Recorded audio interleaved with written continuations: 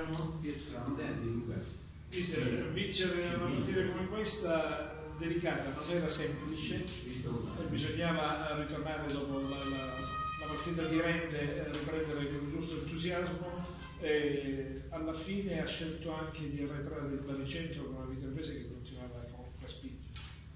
La Viterbese è un'ottima squadra, a mio avviso ha elementi per stare al vertice di questo campionato, probabilmente gli manca il ritmo partita essendo, essendo avendo fatto la prima a novembre mi pare, che erano i primi di novembre, quindi però questa era una causa loro. Però sicuramente è una squadra che è equilibrata, è muscolare, ha un buon palleggio, sa giocare a calcio, ha una buona idea di gioco, forse, mh, forse un pochino bassa come atteggiamento almeno iniziale. Poi è chiaro, nel momento in cui è andata sotto del gol, giustamente doveva spingere da qualche parte, no? Qui tiene 1-0, no? Ma doveva forzare la situazione e noi ci siamo adeguati a, considerando la condizione e, e l'aspetto tecnico di ogni, di ogni nostro calciatore, quindi la possibilità di ripartire pur, mm, diciamo col secondo cambio passare, una volta entrato tutto bello, diciamo passare poi tre. Questo non è che comportava granché come, come rompere determinati equilibri perché esterni dovevamo lo stesso attaccare i loro terzini alti, quindi cui spingevano. E poi, siccome lui ha cambiato, eh, è passato dal 4-3-3, è passato dal 4-3-2-1-2 e quindi questa, una volta che ha messo Pacilli dietro le due punte, in qualche maniera dovevamo eh, creare densità in quella zona del campo. Un po' con Obodo che doveva su quella posizione e chiaramente garantirsi la superiorità numerica mentre la difesa di dietro. D'altronde il risultato ci stava dicendo bene, quindi credo che sia stato giusto così. Eh, mister, buonasera. Eh, a Rende, mister, la partita è cambiata quando lei ha, diciamo, ha centrato, almeno così mi è parso, ha centrato di più Taurino e Melillo, no? che sono andati a fare più o meno il trequartista, un po' a turno così. Anche oggi comunque diciamo, lo schieramento era all'incirca quello, Taurino non l'abbiamo quasi mai visto largo, diciamo, e Melillo nel secondo tempo proprio da trequartista. Cosa non ha funzionato nella tre quarti? Mister? Ho visto un po' di imprecisione proprio nella fase finale della manovra, mentre invece dietro, quando lei diceva che doveva la squadra imparare un po' meglio a gestire, a rallentare, quello invece mi pare che diciamo, è stato fatto un po' troppo forse. Invece... Fatto anche mantenendo un buon regionale. Sì. Il discorso di quelli davanti, ma sia a Rende che, che oggi inizialmente fino a che non siamo passati al 3-5 quello essendo due mezze punte, noi ne facciamo un 4-3-3, l'idea è fare il 4-3-2-1, proprio per le loro caratteristiche, quindi portarli un po' all'interno del campo. Il discorso è che quando hai dall'altra parte un play, quindi uno che gioca davanti alla difesa, eh, la prima idea è quella di indirizzare la giocata su un lato del campo e quindi a quel punto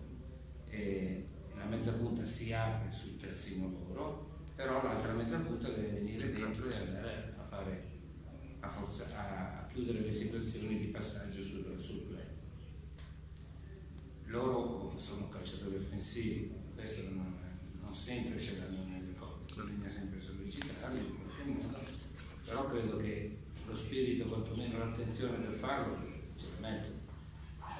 Per quanto riguarda invece il discorso di qualche imprecisione, anche oggi sì abbiamo avuto qualche imprecisione, soprattutto nel momento in cui magari ancora oggi si cerca di forzare l'ultimo passaggio o il penultimo passaggio, quindi chi sono quei calciatori sono? I Melillo, sono in Taorino, che devono venire in quelle zone di campo, prendersi palla, a volte lo fa bene anche Lucas che si abbassa per poi scaricare andare sulla profondità. Come sul gol, mister. Come sul gol.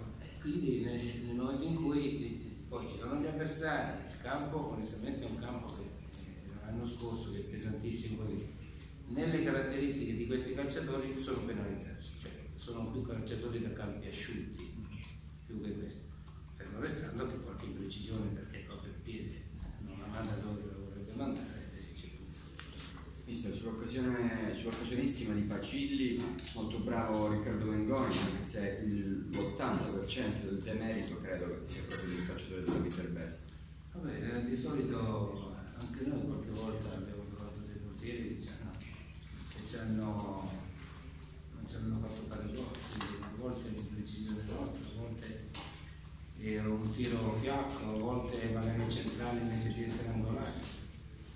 E Bacilli è un ottimo calciatore, lo tenevamo per le sue qualità tecniche, anche quando ha giocato da esterno. Ecco, lui è uno da 4 da 3, quindi nel momento in cui essendo, giocando sulla destra rientra con il piede sinistro che ha un ottimo piede, può portare dello scompiglio, come l'ha portato nell'occasione di quel tiro e stato veramente il portiere si. E a tal proposito rimane voler trovare qualche caratteristica negativa. Questo aspetto, la difesa in ogni partita, penso al gol del Rende o all'occasione di Pacilli, anche quella nel primo tempo di Rinaldi, la difesa regala sempre all'avversario uno o due momenti pericolosi. Beh, mi viene da dire che se, se da qui alla fine del campionato restano 1-2 per partita, mi va benissimo. Qual è quella squadra che non concede 1-2? Le concede anche la Juventus.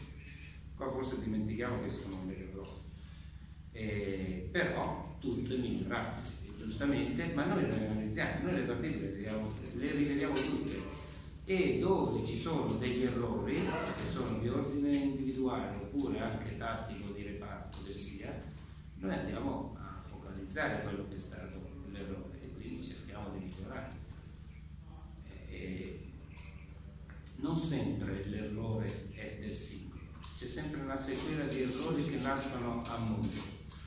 Come è successo nella partita corrente, il problema non è stato di Malberti soltanto che ha boccato la fine, lì c'era anche una postura sbagliata anche nella spinta che ha subito, che ha subito Vinicius. Però sono queste le cose. Però noi giustamente li rivediamo e ci andremo a lavorare. Fermo restando che se restano due per partita. Mister, ehm, tu eri molto preoccupato in settimana per questa partita perché era una- partita molto, molto delicata. Ehm, eh, eh, possiamo dire che questa è stata la vittoria della maturità no, per la Vibonese perché affrontava probabilmente dopo il Trapani la squadra più forte. E, e questa, un po' di numeri, è la quinta vittoria eh, consecutiva in casa per la Vibonese ed è la quinta vittoria senza prendere gol, che non è un... eh, E non è da poco. da poco, ecco. E cosa pensi di questi numeri e, e se possiamo dire che questa è la vittoria della maturità di questa squadra? Sicuramente eh, c'è crescita nel gruppo e anche sotto questo aspetto qui di maturità c'è questa crescita perché eh, hanno co- consapevolezza delle proprie capacità, eh, sono tutti predisposti a eh, essere operativi all'interno di un sistema di gioco, che piace o non piace, quindi tutti si mettono a disposizione ed è sicuramente un segno di crescita e, di maturità. Mm. Mi, conforta il fatto di non aver preso gol, è una cosa che, mi piace. È una squadra che ha avuto anche oggi, credo, e qui è cresciuta, nella fase in cui doveva gestire palla, col fraseggio e col palleggio lo ha fatto, quindi ha avuto anche quella capacità che chiedo da tempo di saper rallentare, perché non sempre si va avanti per inerzia o per istintività che alcuni calciatori ce l'hanno nelle proprie corde, che poi ti porta a degli squilibri e a dover rincorrere concedendo molto di più di quella una o due occasioni che diceva collega. Quindi quella è una cosa che un pochino mi preoccupava, però oggi ho visto dei segnali in questi termini positivi, quindi la capacità anche di.